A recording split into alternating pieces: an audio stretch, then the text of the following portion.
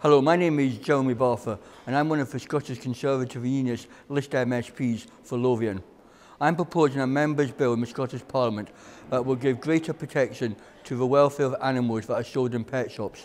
At present, the legislation dates back to 1951 and things have moved on since then. People want more transparency. They want to make sure that pets that are sold are looked after and are cared for in an appropriate way. There's also a difference of how local authorities work across Scotland.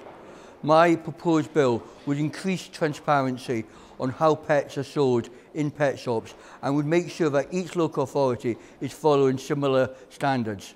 This is your chance to make your views known of my proposed bill. The consultation is now open and I would like to hear your views to make sure that we get the appropriate legislation for Scotland. Thank you very much.